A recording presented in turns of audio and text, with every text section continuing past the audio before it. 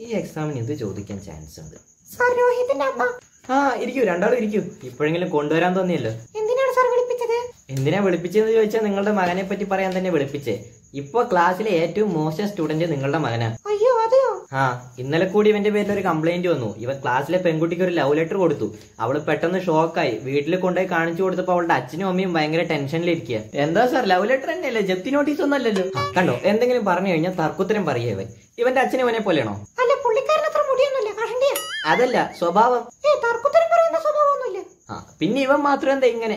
ആ അല്ല ഒരു കാര്യം ചോദിക്കാൻ വിട്ടുപോയി. ഞാൻ മീറ്റിങ്ങിന് വിളിച്ചപ്പോ ഇവൻ അച്ഛനെ കൊണ്ടുവരുന്ന വിചാരിച്ച്. ഇവന്റെ അച്ഛൻ എന്താ വന്നില്ല? അത് പുള്ളിക്കാരൻ ഒരു ജോലി തിരക്ക് കാരണം. ഓ അതെയോ? പുള്ളിക്കാരനെ ഒന്ന് കോൾ ചെയ്ത് തരുമോ? എനിക്ക് സംസാരിക്കാൻ. ഓ അതിനെന്താ ഞാൻ വിളിക്കാലോ. ഹലോ? ഹലോ?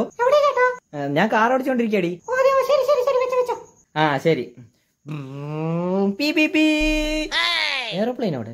പുള്ളിക്കാരൻ ഡ്രൈവിംഗിലാ ആ ഓക്കെ ഓക്കെ. എന്നാ വിളിച്ച് ബുദ്ധിമുട്ടിക്കണ്ട. പിന്നെ അവന്റെ കൂട്ടുകെട്ട് ശരിയല്ല. എപ്പോഴും ക്ലാസ് കട്ടടിച്ച് നടക്കുക ആ പിന്നെ ഒരു കാര്യം ഓർമ്മ വന്നു. നിങ്ങൾക്ക് എത്ര അച്ഛനുണ്ട്? അങ്ങനെയല്ല. ഇവൻ എപ്പോ ലീവ് എടുത്താലും അമ്മടെ അച്ഛൻ മരിച്ചു അമ്മടെ അച്ഛൻ മരിച്ചു എന്നാ പറയാറ്. അതുകൊണ്ട് ചോദിച്ചതാ. അയ്യോ കുഴപ്പമായോ? അയ്യോ ഇതെന്താ കാടമുട്ടെ? അയ്യോ എന്റെ കണ്ണ്.